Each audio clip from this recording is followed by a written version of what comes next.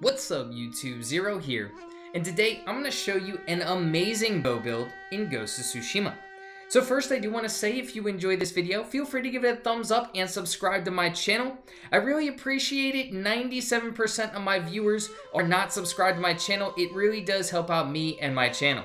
So without further ado, let's get into it. So first, the charms. The charm of Izanagi, which landing a headshot has a 40% chance to return an arrow.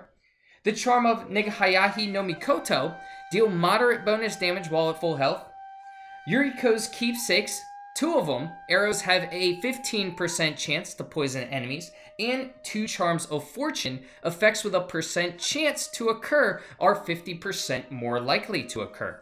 Now let's take a look at the armor, and of course we have to go with Tadayori's armor increases nocking and reload speed by 30%, increases total concentration time by 2 seconds, and headshots restore 50% of the concentration meter.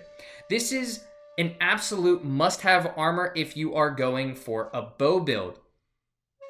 So now let's talk about the build. Let's get into the charms and why they work so well together.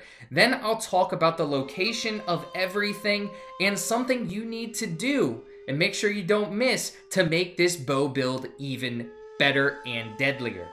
So first, why does this work and why is it so good? The two charms of fortune combined are going to give me a hundred percent increase, more likely to occur for charms with a percent chance. So what does that do? Well, the charm of Izanagi, which is 40% chance to return an arrow when you land a headshot is now 80% chance. So that is four out of every five shots that is a headshot, you are going to get an arrow back, which is absolutely awesome. You won't have to be scavenging the field for arrows as long as you are hitting your headshots. You're going to be getting most of them returned to you.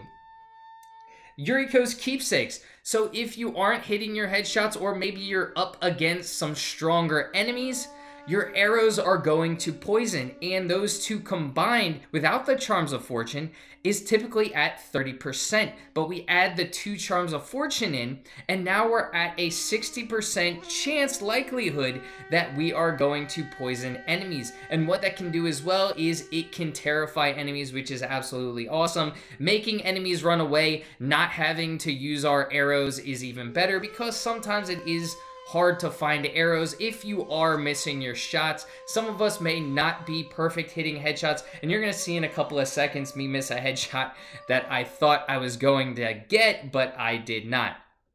Now the last one, you can really play around with this. I went with the charm of Nigihayahi no Mikoto, and the reason for that is you deal moderate bonus damage while at full health. When you're hitting enemies with arrows, you're most likely going to be at full health. A lot of them aren't going to be able to attack back. As you can see in these situations, none of these enemies have bow and arrows, so I'm kind of just on top of this housing, picking them off one by one. So I'm dealing bonus damage if I am not getting those headshots, those automatic kills, I'm going to be able to get some pretty easy kills. On top of that, there are going to be moments where you're going to have to get into hand-to-hand -hand combat. You're going to have to kill enemies with your katana.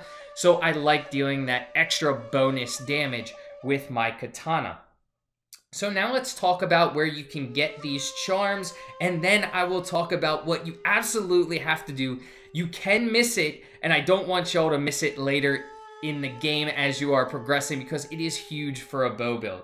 So the charm of Izanagi, you're going to find at the Winding Mountain Shrine.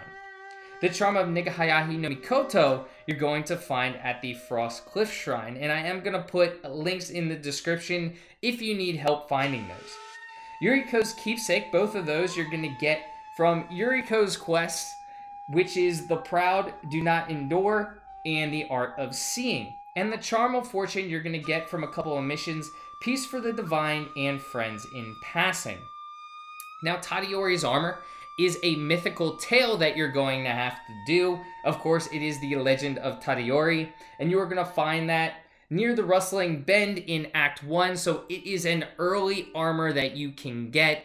It's a longer mythical tale. It definitely took me a little bit longer than the other mythical tales, but if you are somebody who wants a bow build this armor is definitely for you, and you're going to absolutely have to get this armor.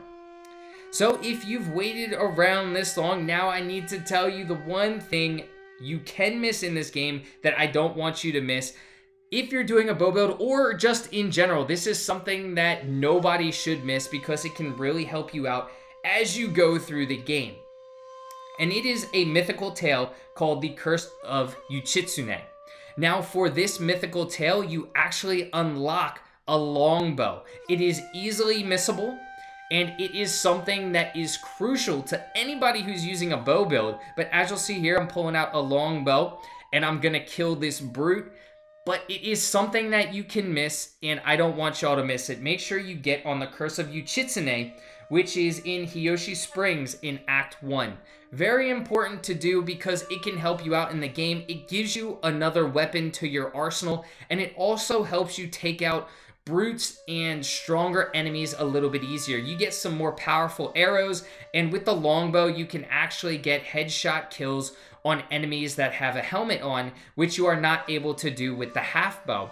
So that's just something that I don't want y'all to miss. I want y'all to make sure you are getting the Curse of Uchitsune no matter what you're doing in game. Go out of your way, get that bow because it is extremely important to the gameplay and going through this game so you can have another weapon to your arsenal. So let me know what y'all think about this bow build. I'm telling y'all, if you love using a bow and arrow, it is absolutely awesome. I definitely love using this build, especially with the Charm of Izanagi and the two Charm of Fortune. I am getting all of those arrows back and I am just able, you can see there, I'm terrifying my enemies too, making them run away, which is awesome. And then here, I'm just gonna watch this Mongol get thrashed by this bear. The bear spots me, but no fear, because I have this bow on, I have my concentration up, and then an easy headshot as this bear lands at my feet. So let me know what y'all think of this build. Have you used it? Do you love using bows in this game? Do you attack your enemies with bows a lot? Or do you prefer another method to get up on those enemies? Well, I hope y'all enjoyed this video. And again, if you did, feel free to give it a thumbs up and subscribe to my channel for more Ghost of Tsushima content. Well, until next time.